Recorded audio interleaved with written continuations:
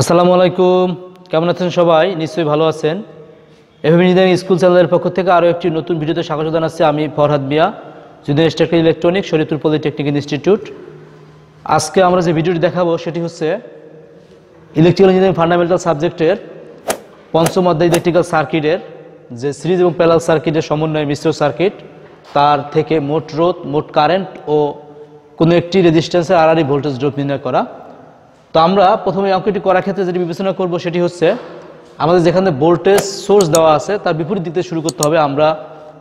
এখানে দেখা যাচ্ছে সেভেন ওহম এবং ফাইভ ওহমের দুই রেজিস্ট্যান্স দেওয়া আছে। এই দুটি কি কি পর্যায়ে আছে? এই দুইটি আছে কি? সিরিজে আছে। তো সেক্ষেত্রে আমরা প্রথমে যে সিরিজের কাজটি করে ফেলব সেটি হচ্ছে জাস্ট সিরিজ থাকলে যদি কোনো রেজিস্ট্যান্স সিরিজ থাকে, সেক্ষেত্রে তার মোট রেজিস্ট্যান্স হচ্ছে, সে দুটি যোগ করে দিলেই হচ্ছে। তো সেখানে আমাদের এখানে সেভেন এবং ফাইভ সেভেন এবং ফাইভের যোগফল হচ্ছে টুয়েলভ, অর্থাৎ বারো হোম এবং এখানে আমাদের আছে আরও একটি রেজিস্ট্যান্স বারো হোম এখানে ফোর ওহম, এখানে টেন ওহম, এখানে হচ্ছে ফাইভ ওহম এবং ভোল্টেজ আছে পঞ্চাশ ভোল্ট। তো এখন আমাদের সর্বশেষ যে দুটি রেজিস্ট্যান্স আছে, সে দুটি আছে প্যারালালে আমরা প্যারাল কীভাবে বুঝব? জাস্ট আমরা দেখতেছি এখানে যে কারেন্টটা আসবে, সেটি কি হচ্ছে? একটি কারেন্ট এদিকে ভাগ হয়ে যাচ্ছে আর একটি কারেন্ট এদিকে ভাগ হয়ে যাচ্ছে। অর্থাৎ এই বারো হোমে বারো হোম এই রেজিস্ট্যান্স দুটি আছে কি? প্যারালে তো সেক্ষেত্রে যখন দুটি রেজিস্ট্যান্স প্যারালে থাকে, তখন তাদের সমতুল্য মান হচ্ছে ওই রেজিস্ট ওই মানদয়ের গুণফল ভাগ হচ্ছে ওই মানদয়ের যোগফল, অর্থাৎ বারো ইন্টু বারো ভাগ হচ্ছে কি বারো প্লাস বারো। এটা যদি আমরা ক্যালকুলেশন করি, সেক্ষেত্রে বারো বারো একশো চুয়াল্লিশ ভাগ চব্বিশ করলে হবে সিক্স বা ছয়। তো সেক্ষেত্রে এই দুইটাকে প্যারাল করার ফলে আমাদের যে মানটি আসবে সেটি হবে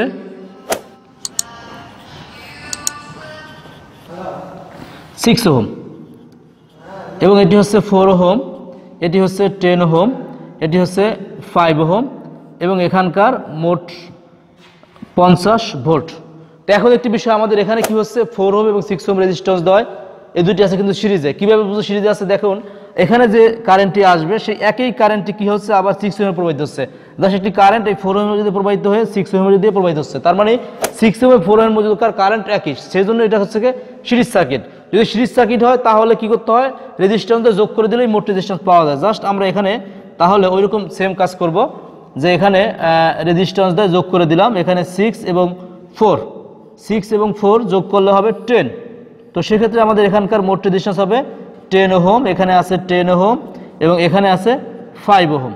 এখানে হবে পঞ্চাশ ভোল্ট। এখন এই টেন ওহম এবং এই টেন ওহম, এই দুটি রেজিস্ট্যান্স আছে কিন্তু প্যালালে তো সেক্ষেত্রে যদি এই দুটি রেজিস্ট্যান্স প্যালালে থাকে, তো সেখান থেকে আমরা যদি মান বের করি, তো সেক্ষেত্রে কী হবে? প্যারাল থাকলে দশ গুণ দশ ভাগ হচ্ছে দশ যোগ দশ করলে পাস হয়ে যাবে। অর্থাৎ এই রেজিস্ট্যান্স দয় দুইটা প্যারাল আছে, সেগুলো সমতুল্য রেজিস্ট্যান্স বের করলে পাস ওহম হবে।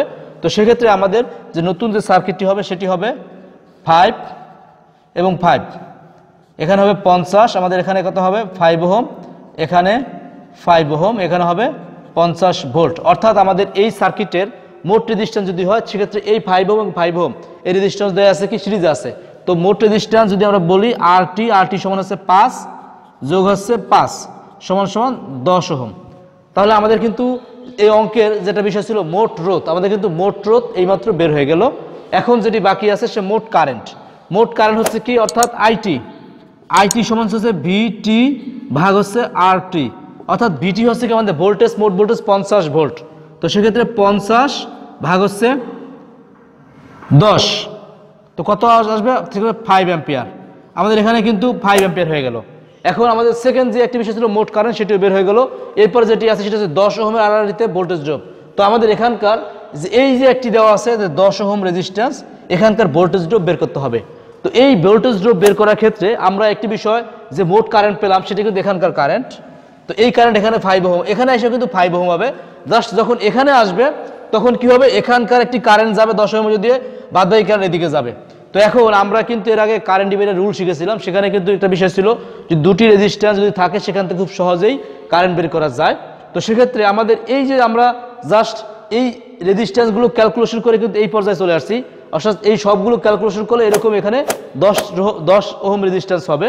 এখানে দশ ওহম। জাস্ট আমরা যদি এখানে কল্পনা করি, এখানে কারেন্ট ডিভাইডার রুল অ্যাপ্লাই করি, আমাদের এখানকার মোট ভোল্টেজ হচ্ছে ফাইভ অ্যাম্পিয়ার আর এখানে হচ্ছে কি, দশ ওহমের কারেন্ট দশ ওহমের কারেন্ট তো সেখানে এখানে যদি আমরা জাস্ট আই টেন অর্থাৎ দশ ওহমের মধ্যকার যদি কারেন্ট বের করি, সেক্ষেত্রে কী হবে? যে ভোল্টেজ ডিভাইডার রুল সেটা কীরকম ছিল? মোট কারেন্ট ভাগ হচ্ছে বিপরীত শাখার রেজিস্ট্যান্স দুঃখিত, মোট রেজিস্ট্যান্স গুণ হচ্ছে বিপরীত শাখার রেজিস্ট্যান্স ভাগ হচ্ছে রেজিস্ট্যান্সের যোগফল। তো সেক্ষেত্রে আমাদের মোট কারেন্ট হচ্ছে ফাইভ ইন্টু বিভিন্ন শাখার রেজিস্ট্যান্স হচ্ছে দশ। আমরা যখন এই শাখার রেজিস্ট্যান্স মানে কারেন্ট বের করব, তখন এই শাখার রেজিস্ট্যান্স গুণ করতে হবে।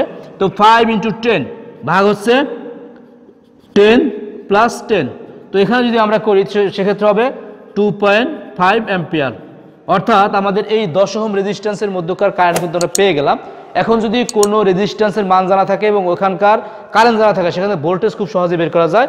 সেখানে আমরা জানি V is equal to I R অর্থাৎ ভোল্টেজ সমান হচ্ছে এখানকার কারেন্ট টু পয়েন্ট ফাইভ আর আর হচ্ছে টেন তার মানে এখানে হবে two point five into ten পঁচিশ ভোল্ট এই হচ্ছে আমাদের আজকের এই অঙ্কের সমাধান। জাস্ট এখানে অ্যান্সার হবে আরটি মানে মোট রোড হবে টেন হোম মোট কারেন্ট হবে ফাইভ অ্যাম্পিয়ার এবং দশ হোমের মধ্যে দিয়ে আরআরই ভোল্টেজ ড্রপ হবে। টোয়েন্টি ফাইভ ভোল্ট বন্ধুরা, আশা করি আপনাদের ভিডিওটি ভালো লাগবে। ভিডিওটি ভালো লাগলে অবশ্যই লাইক, কমেন্ট এবং শেয়ার করবেন। এবং আমার চ্যানেলটি অবশ্যই সাবস্ক্রাইব করবেন। যারা হিসেবে সাবস্ক্রাইব করেছেন, তাদেরকে ধন্যবাদ।